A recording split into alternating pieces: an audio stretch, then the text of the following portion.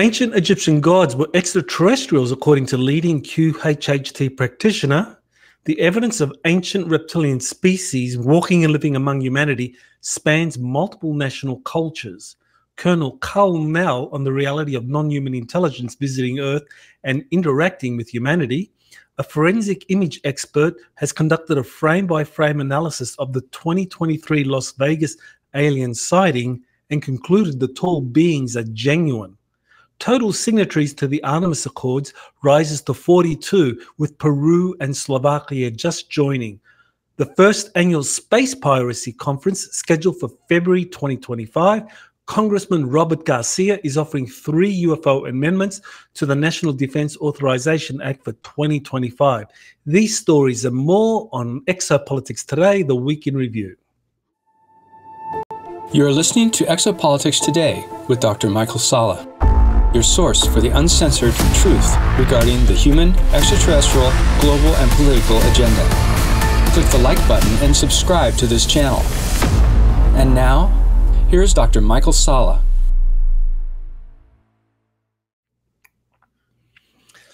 This is the June 1st edition of Exopolitics Today, the week in review. So thank you for watching and uh, special shout out to everyone that has subscribed. Uh, we have uh, just achieved another milestone, 170,000 subscribers. So that's great. Appreciate you uh, recommending this channel to your friends and uh, relatives. So we're growing uh, really fast. So thank you.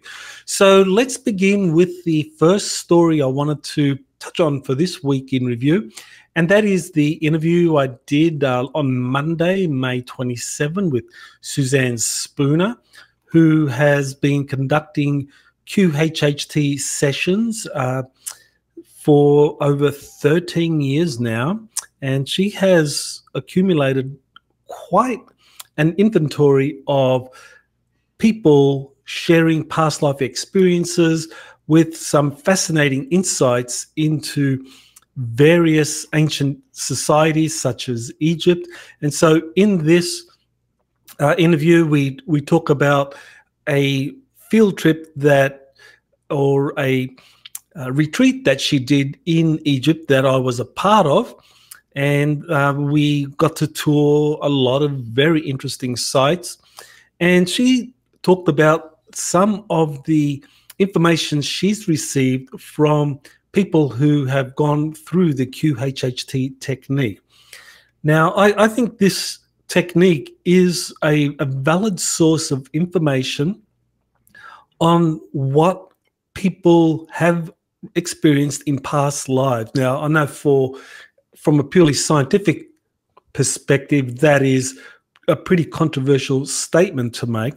But I, I consider QHT, uh, along with other kind of like non conventional sources like remote viewing and channeling, uh, to be valid. Now, I, I think there is a screening process, a discernment process, because I don't think all QHHT practitioners are, are equal in terms of the output.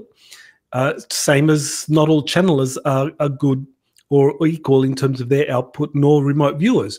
But I think when it comes to uh, people who do have a rigorous process and have a lot of experience, then we can get some uh, really good information.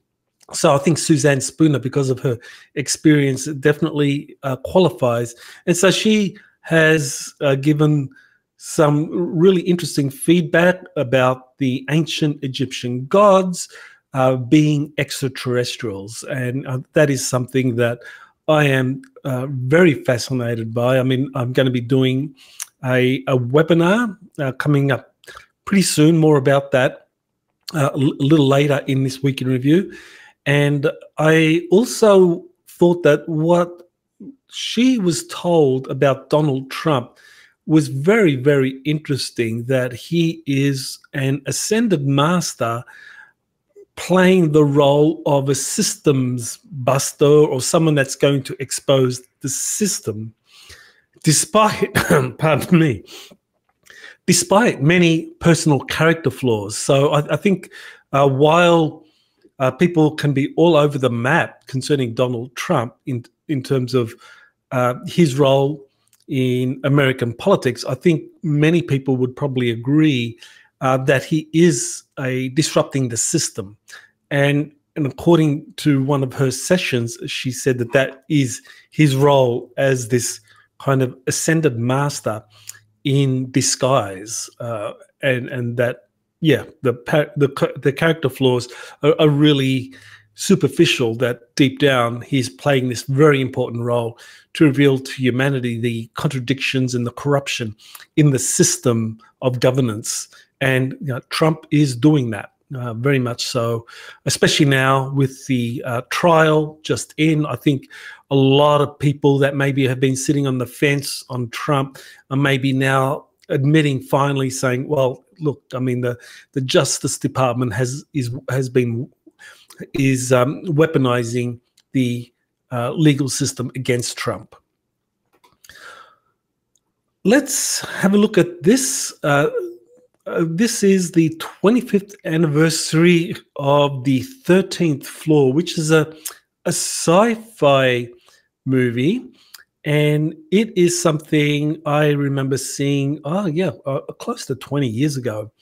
And, and it truly is a, a very similar movie to The Matrix in terms of revealing the idea that we are living in a simulated reality. But it, uh, it does it in a in a way that I, I think is kind of like probably closer to the truth about the, the simulation that we live in. So this is the 25th anniversary of the 13th floor. If you haven't seen it, seen it yet, it's a must-see movie. Uh, very entertaining, and you will get a really good uh, idea of how the simulation hypothesis works. And uh, this is, I think, definitely worth considering in, in terms of what we are going through on this planet. Okay, so here's my webinar announcement, uh, which is uh, for June 15, 2024, Ancient ET Gods Among Us Today. So here I'm going to be looking at what I found when I went to Egypt and in terms of the, the different hieroglyphs that I saw and the experiences I had there. And I'm going to be doing a review of some of the ancient texts concerning ancient ET gods or ancient gods in Egypt and finding the connection with extraterrestrial visitation. I, I think that's a very important point for us today because I, I don't think ancient Egyptian society, in terms of the extent to which extraterrestrial lived and walked amongst humanity, uh, is an ancient event that has no relevance to the present. I think that's the future we're going to. And so, if that's the future we're going to, then I think it behooves us to learn as much as possible about ancient societies like Egypt, where the extraterrestrials were living and walking amongst humanity. And also looking at whether or not the Egyptian gods are the same as the Anunnaki, because that I think is a very important point. I mean, they were contemporary societies, so is it just the Egyptians had their own names for the Anunnaki, or are we talking about two separate groups of extraterrestrials? So that's something I'm going to be addressing in the webinar. Okay, so here is a transcript of an interview of a 25 year CIA agent um, and this was an interview he did a couple of years ago about his contact with uh, mantid ETs and tall greys. Now, the transcript is now available. So I think it's worthwhile taking a look at this particular individual's, Jim Semivan, uh, look at his uh, testimony in terms of these mantids, tall greys, interacting with humanity. And, and I think it is very interesting that you, you're having more and more of these former intelligence operatives, people who have worked with the CIA or worked with military intelligence community coming forward saying, "Oh, we're contactees. Oh, you know, we have had first-hand experiences with uh, crash retrieval programs and so forth. And and I think at some point you have to ask yourself, well, are, are these truly former intelligence operatives? Uh, because I, I think you can be suspicious about this happening now? I mean, is it is it just fortuitous that these people are coming forward now, or is this a means of being able to infiltrate the UFO disclosure community? Because uh, especially the mainstream media, I mean, they they will they will just flock. And of course, many of us who are researchers, I mean, we were very impressed by the credentials of people like Jim Sem- Semivan um, or or others who have similar uh, backgrounds, veterans with uh, different intelligence agencies, uh, because they look really good on paper. So we give them a lot of priority, a lot of emphasis. But is the information clean? Is it loaded with disinformation? Is there an agenda there? Uh, these are all questions we need to ask ourselves. But uh, certainly, uh, on the surface, I mean, here's someone who's had experiences with uh, non-human intelligence and is talking about it. So uh, uh, uh, we can we can accept the testimony as as genuine, whether or not there's an agenda. That's something we have to be very uh, wary of. Okay, so here is something posted by Jason Wild and the Ubaid figures from Iraq, so this is roughly 5000 BC, uh, they show uh, what appears to be uh, reptilians. Now, I, I, I, think I think these are the Anunnaki figures that he references, and he talks about Nomoli figures from Sierra Leone. So I believe these are the figures from Sierra Leone. And what they show is these reptilian beings. And I think this is just, you know, more examples or more evidence that we have this kind of a cross cultural phenomenon where different societies talk about reptilians living and walking amongst humanity. So, in addition to these examples, we, we have the Nagas in uh, India, gargoyles in Britain. In Egypt, you you have Sobek, uh, the Egyptian crocodile god, uh, and and so forth across many cultures. So I think this is very important. We we need to consider that humanity is not the first species to walk this planet, and when it comes to the inner Earth, that there are remnants, I believe, of these prior surface civilizations, some of them being reptilian, that have escaped into the subterranean regions of the earth hundreds of thousands, if not millions of years ago, and that they are antecedent to humanity. So that's a kind of big thing to consider that that we are not the first species on the surface of planet Earth. So we can't assume that the Earth belongs to us. Okay, so here is a a video clip from Karl Nell that talks about extraterrestrial intelligence, uh, non-human intelligence visiting Earth and interacting with humanity. So I want to play that video for you.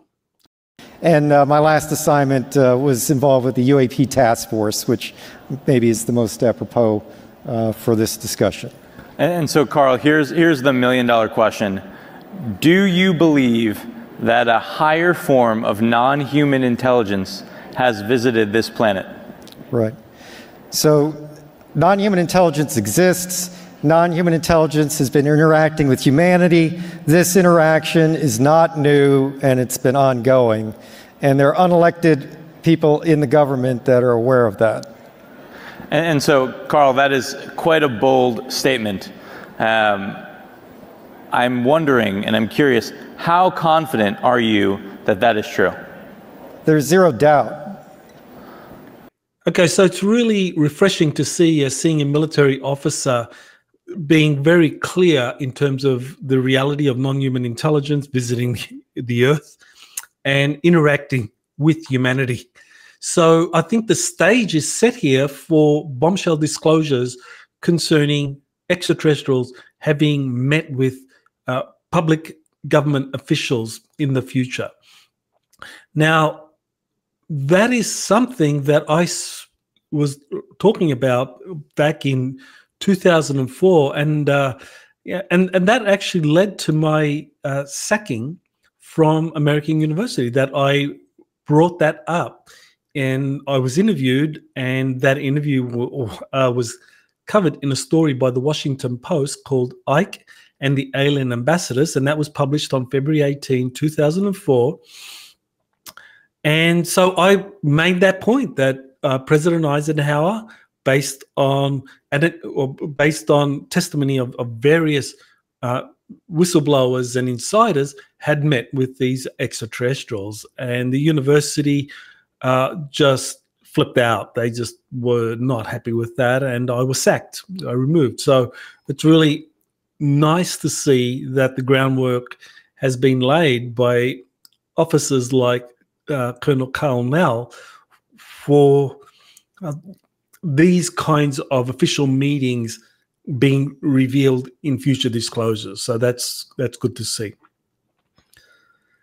Here's an interview I did with James Gilliland, extraterrestrial contact in Washington and Hawaii. And so we just went over uh, James's extensive experience in uh, taking photographs and video of various spacecraft or various uh, UFOs that have appeared over his uh, ranch in Mount Adams, uh, Washington State, for close to 40 years now and he's got thousands of videos and photos that he's taken and, and shared. It, Mount Adams is a special place. Uh, you have all kinds of contacts there ascended masters, celestials, you know, earth beings, uh, extraterrestrials, and, and many other entities have appeared before uh, the, the, many thousands of people who have passed through uh, Mount Adams through his ECETI ranch there. So definitely someone with a, a lot of experience concerning extraterrestrial contact. Now, here is something that I thought was uh, quite a welcome development. Uh, so, there's a, a, forensic image expert who has conducted a frame by frame analysis of the 2023 Las Vegas alien sighting and concluded that the tall beings are genuine. So this story uh, here, you have it. It appeared in the Gateway Pundit. So this is a crime scene analyst who says that two beings with cloaking devices are visible in Las Vegas video. So this is an expert who's appeared in um, many court cases as as a photographic uh, video expert, and so he's conducted this frame by frame analysis, and he concludes that this video taken of these eight foot tall beings in the back of a home of a Las Vegas residence where a UFO was seen by hundreds of people landing, that there was an eight foot, nine foot tall being, or two, two of them there. So this is kind of my more confirmation that something really did happen with that Las Vegas incident. All right. So here's an announcement. Uh, only weeks to go. Well, actually, there's uh, this the Galactic Spiritual Informers Connection Conference is going to be held in September. Uh, let me uh, September 27 to 29. And uh, it is going to be a blockbuster conference with lots of great speakers, yours truly among them. Um, and, and, we're going to have um, many topics, esoteric topics, contact topics addressed. Uh, Leonard Danan will be speaking. Uh, you you have uh, Dr. Christiane Northrup, Tony Rodriguez, Nikki Allen was there last year. Jean Charles Moyen, I've interviewed him many times. Dan Willis also, Melanie Charret, a contactee, Jerry Wills, another contactee, Dan Will, uh, Dan Winter, a, um, a, a scientist, uh, Dr. Lee Merritt, and a health practitioner expert Danny Henderson is also a contactee and, and of course the organizer. And David Adair, he is also going to be present. I don't know if he's going to be physically there because his health is not so good, but uh, he's, uh, I believe, has committed to doing at least a Zoom call, Zoom event. And also, I'm uh, it's uh, I'm happy to uh, announce that JP will also be present and will be doing uh, a presentation um, at this conference. Now, because of uh, JP's military uh, career and developments there, we're not quite sure yet if it's going to be done via Zoom or whether he will just be up on the stage or join me up on stage. We I'll let you, we'll let you know a little closer to the event. But JP definitely uh, will be physically present, even though he might not. Well, we'll see whether he can actually uh, present live on the stage or he has to do it through Zoom through a hotel room to maintain anonymity.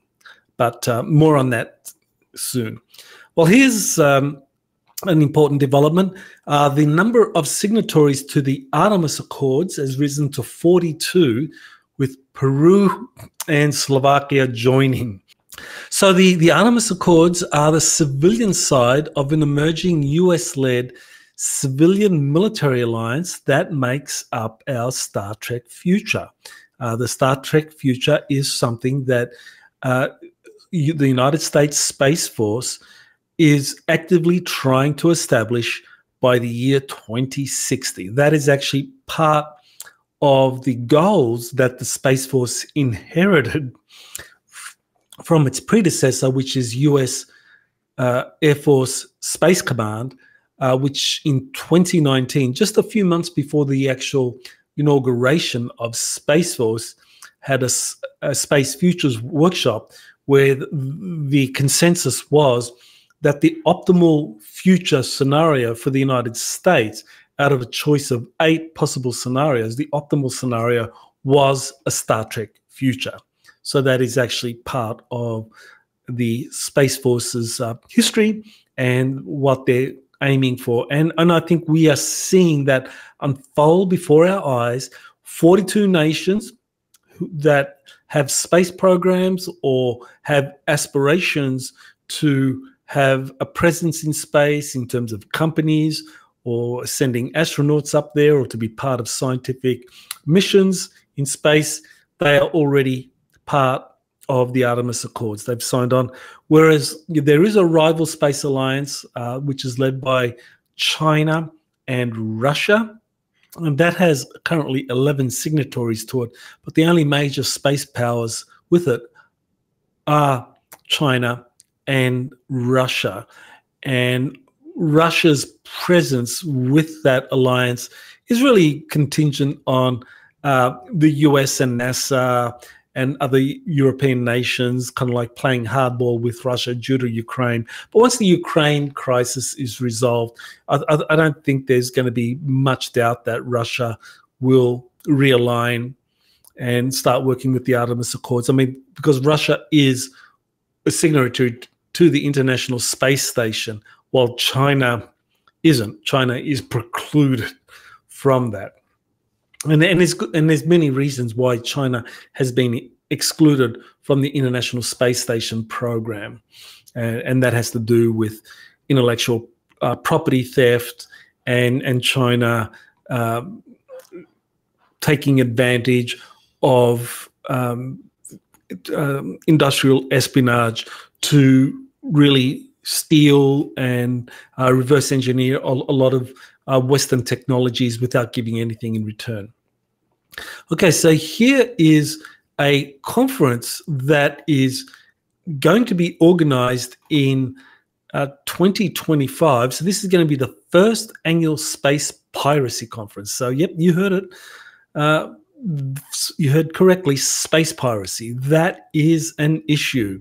Even though, uh, for those that are proposing the conference, they're proposing it as a theoretical issue because, you know, clearly commerce and so forth is yet to take off in in space according to the conventional science or the, the, the, conventional worldview. But we know those of you that have been uh, following my work and have copies of my Secret Space Program book series, nine books um, in total, that there is there are rogue elements in space, uh, and these include a, a German dark fleet, the Nachtwaffen, as some people refer to it. Uh, there's a CIA National Reconnaissance Office space program, which is also rogue. There are corporate secret space programs, and and they're also can, can be considered rogue. And then, of course, you have the national, or you have the military space programs of the of the uh, Space Force, of uh, the, the US Navy, but they can't be considered rogue because they are being slowly integrated and absorbed into the architecture being set up for this Star Trek future. And that Star Trek future, as I mentioned, is being created. So the military aspects or the military space assets that belong to these secret space programs will be absorbed into what will be a future Starfleet. Uh, but those rogue elements, those elements that are not part of this process, uh, they include the Dark Fleet, they include the CIA NRO space program, uh, and, and corporate secret space programs, that they could at any time play the role of um, pirates. Uh, they they have their own objectives, they have their own activities, their own fleets.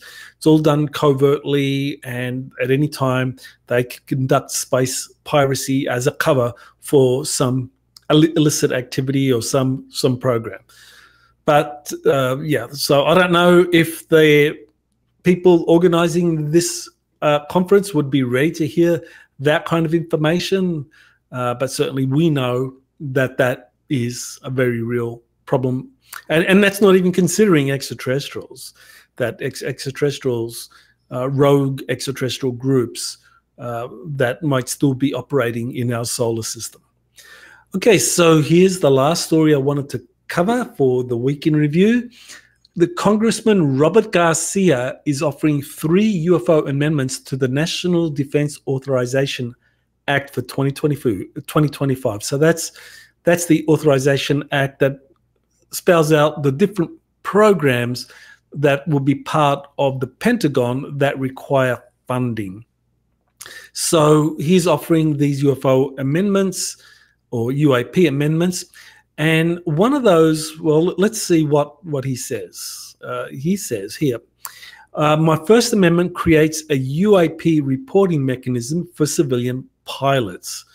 So that is something that um, there's an organization set up by a former US Navy uh, witness, uh, Ryan Graves, who was part of the congressional hearing in July of 2023, uh, where he was he's part of an, an organization that he founded to set up this reporting mechanism for civilian pilots, and and that's certainly a, a welcome development. You you need to have something that pilots can report to without being ostracized or punished, which has been the case for, uh, for, for, for, many years now. His second amendment, amendment includes a UAP disclosure provisions from last year that were blocked, including a UAP re records review board. So this is this is really the important amendment or the important uh, piece of legislature uh, legislation which is being proposed, that this UAP Records Review Board it, it would have the power of subpoena, the uh, eminent domain. So he really is re resurrecting this in the, this re review board that would comprise nine individuals that would report directly to the U.S. president. Currently, uh, you you have the All Domain Anomaly Resolution Office, which is embedded within the Pentagon, and it reports to an undersecretary within the Pentagon, um, and or to the deputy director or, the deputy secretary of the of the of the Pentagon. Well, those officials can at any time block information if they feel that somehow uh, it doesn't mesh with Pentagon interests. whereas the president could, well, in theory, be the individual that is most insistent on transparency and releasing and disclosing information because I think that would be something that would help their their record and uh, I think transparency is something that all presidents support because it obviously translates into positive poll numbers. So this is a very important uh, provision. Now, the power of subpoena and eminent domain, that's very important because at the end of the day, uh, the success of any institution, you know, whether we're talking about the AARO office, uh, whether we're talking about a, a review, a records review board, it's going to be their ability to be able to pressure um, in other government agencies or military departments or corporations, most importantly, to pressure them into releasing any UFO related information that they have. So the power of subpoena is important, as is the power of eminent domain, because a lot of these technologies were handed over to corporations uh, for study and reverse engineering.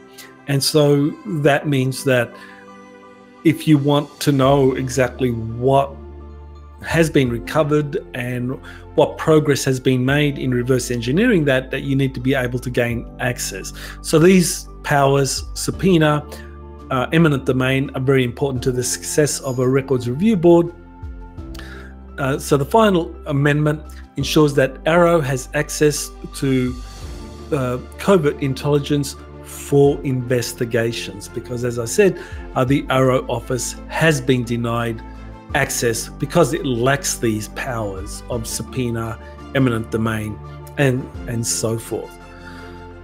So uh, certainly there have been a number of developments this week. Uh, I, I, think we are going into a hot summer. More and more developments are, are going to emerge. Uh, we'll see how far this um, NDAA Act for 2025 goes in terms of incorporating some of these um, amendments. Uh, that'll be very interesting to see, and I look forward to uh, keeping uh, up to date with uh, the, the latest exopolitics news and relaying that to you over the next week. So, thank you for watching and subscribing to Exopolitics today. I really appreciate it. Aloha. You have been listening to Exopolitics today with Dr. Michael Salla. Please remember to like, share, and subscribe to this channel. Join or start a conversation in the comments. Take the time to explore the vast library of best selling books, webinars, and podcasts by Dr. Salla. Visit exopoliticstoday.com.